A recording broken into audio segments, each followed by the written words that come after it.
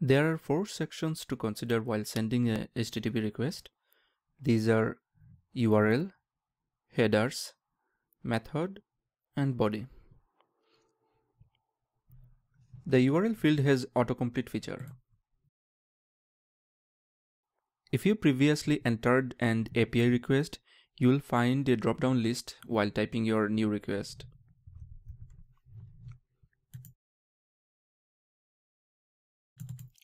You can directly add edit any parameter of your URL from this field or press this parameter button. It will open a key value editor which auto-populates parameter from the URL. It's very easy to manage URL parameters in this editor. For example, let's enter category as the key. And natural pictures as value. Check your API documentation to see what parameters are available. Make sure the value doesn't have any space or any unsupported special characters. If there is any, select the value, right click and choose encode URI component. The app will encode it to supported characters. If you want, you can rearrange the parameters by dragging this handler.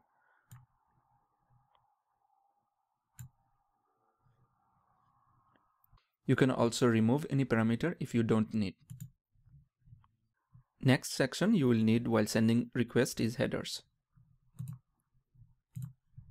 It also has the key value editor. You can find all commonly used headers while typing here.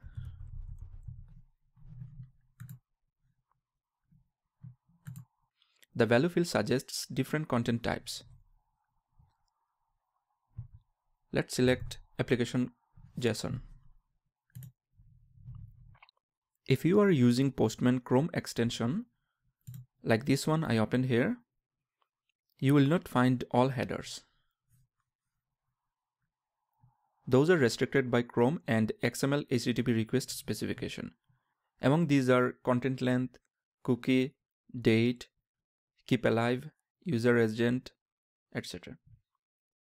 If you want to look at, I have added a PDF file in the resource section of this lecture, which lists all restricted headers. There are two ways to use these restricted headers in your request. First one is install Postman Inspector extension from Chrome Web App Store. After it is installed, go back to Postman Chrome extension, click this icon and turn on inspector. Second method is to use native Mac or Windows version of Postman app. Just like this one. I chose dark theme in the native app. Here you do not need to install inspector. If you have frequently used headers, you can group them together into presets and quickly add into your request from this preset manager. Click add. Let's create a preset for JSON header.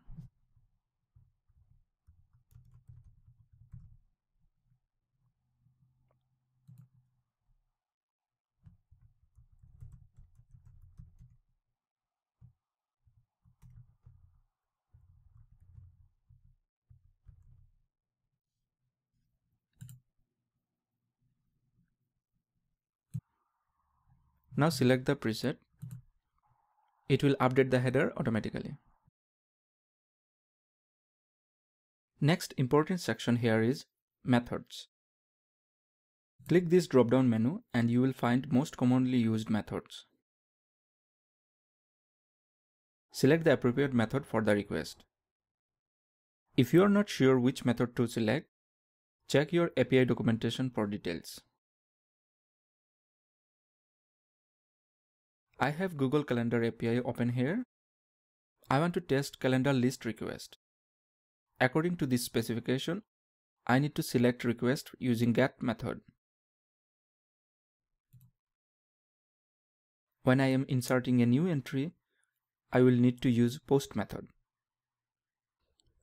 Body section is disabled when get method is selected. Let's change it to post. There are four different ways you can enter data. First one is form data, which is almost the same key value editor we saw for parameters. In addition, here you can either select a text file as value or upload a file from your computer.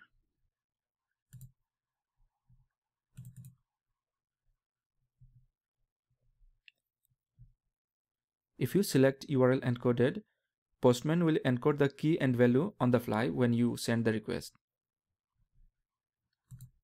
Third body type is raw. Here you can enter text in any format you want. Postman app will not modify it. You can select content type from the drop-down menu.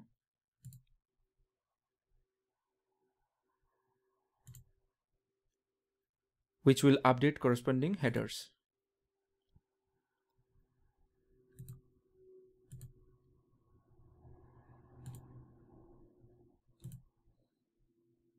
See, it changed to JSON.